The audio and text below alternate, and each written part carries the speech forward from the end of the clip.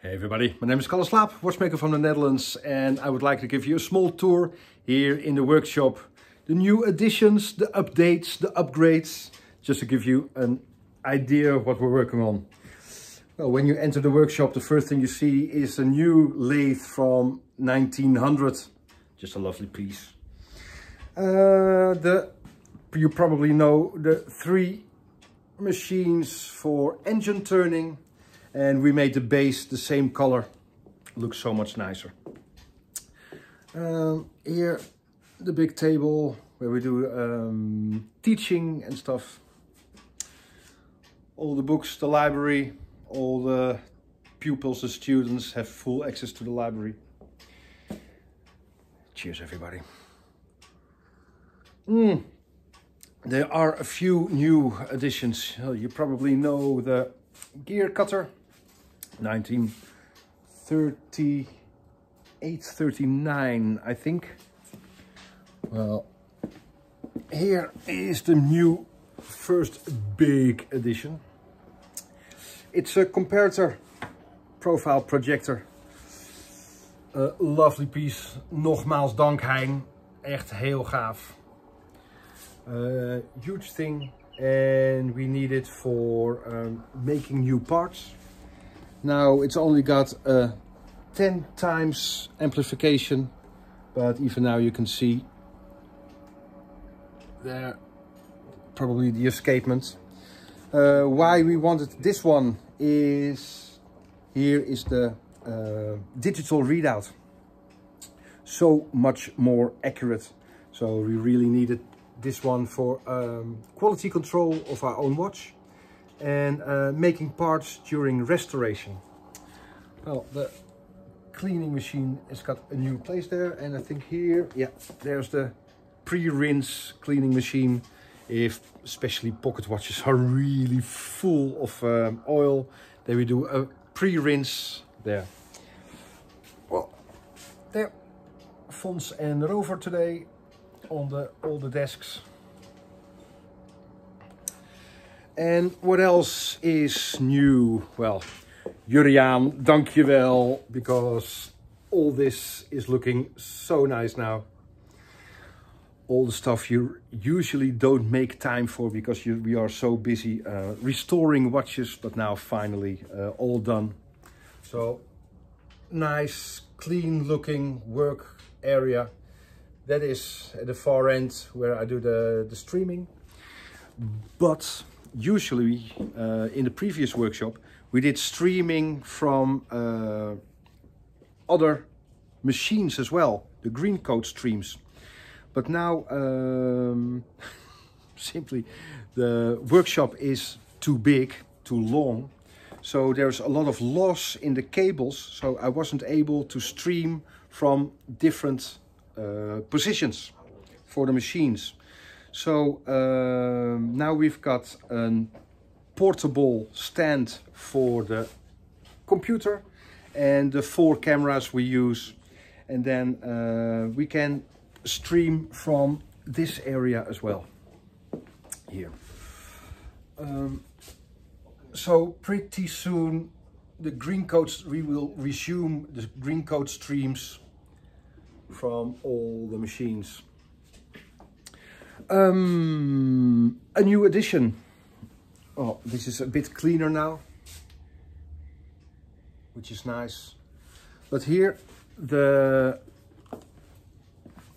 small lathe, uh, Lijne Bollé, uh, 8 millimeter. Here the Schaublin 70, uh, lovely machine. Really, really completely in love with this one the Schaublin uh, 102 and here the first 102 we got. And because we made so many hours on this one this is the one I always use because well we're friends. Old friends.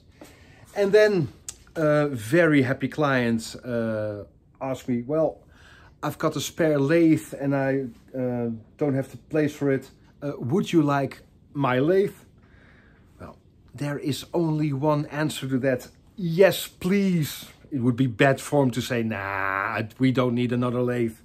So uh, we made a bit of space, of course, we're masters in Tetris. and when it was delivered, I wasn't here. And then I saw it and I thought, it is way too big, it is rusty, it is clunky. Oh.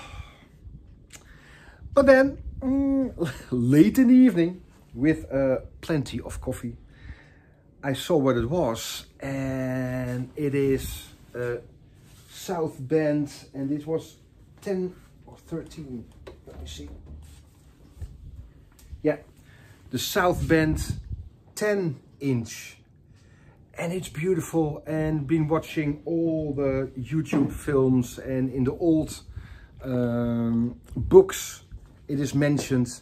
It is so stable with the double bed and with the thread cutting. It's fully complete so uh, I cleaned it. Um, all the rust is gone. Uh, the bed is in excellent nick. So we are so chuffed with it that uh, the South Bend, the American South Bend 10 inch lathe with a double bed and the thread cutting uh, stuff, it is complete and it's so nice. And I thought first, oh, we're not going to use it. We are going to use it, definitely. So lovely surprise and thank you so much, Ed uh, for donating your beautiful machine and we are really going to use it. Over here, the old um, profile projector, the comparator. And I thought, well, maybe we put it for sale because the new one over there is going to do the trick. But then Edwin says, no, stop. That one is excellent for drawing um, parts so we are going to use it. There the Hauser hardness tester we're going to use for quality control once we are uh, producing all the springs we need for our own watch.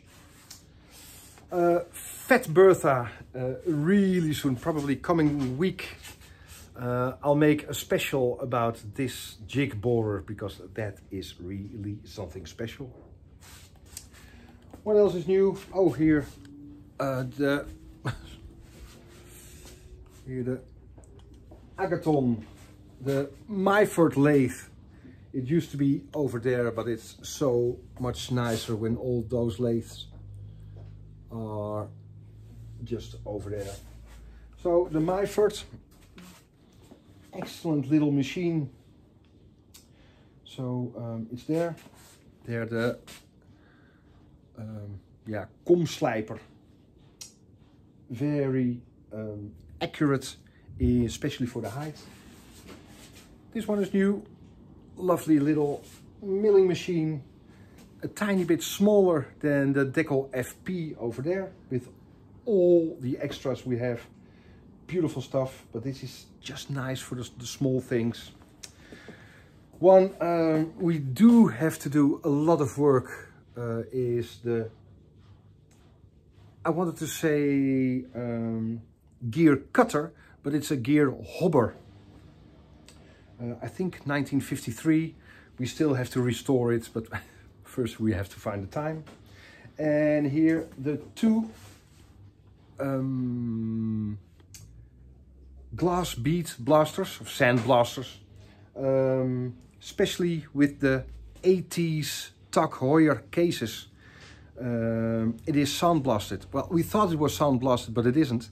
Uh, it is glass bead. And finally, finally, finally, we found the exact grain or grit uh, of sandblast with the uh, air pressure. And now we can replicate or restore those beautiful uh, mid-80s uh, Tag Heuers, especially with the titanium cases and the glass bead finish. It's beautiful. Here Edwin has done an amazing job for the glass sliding door. So all the dust of the uh, polishing is going to stay there. And um, so that is all airtight. There is the huge suction Uh, there's going to, going to be a pipe over there and sucks all the air out and clean it. Well, there are the polishing machines. That one, Elmar really loves to do the polishing sitting down. I really do like do the polishing standing up. Um, pretty soon a polishing course. And here Edwin has got did an amazing job of the glass cutter uh, is here now and that's excellent. Uh, lovely little machine so all the crystals we can cut here ourselves. And of course the wet area with uh, ultrasonic cleaner dryer another ultrasonic cleaner but that is plastic crappy thingy and there the two spindles and that is for brushing. And the tumbler because it's a bit noisy. And now with a glass sliding door it's excellent. So finally glass beads. Beautiful finish for restoring those watches. And here are some machines in the cabinets we're not going to use too daily. So there is Fons making a small part for a 1950s watch. And yeah, just lovely all the lace over there.